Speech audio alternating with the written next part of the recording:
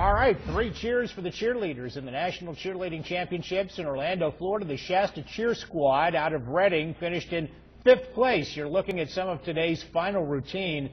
The team reached the championship round after making it into the round of seven yesterday, and today they finish up with a solid fifth place finish overall. Cheers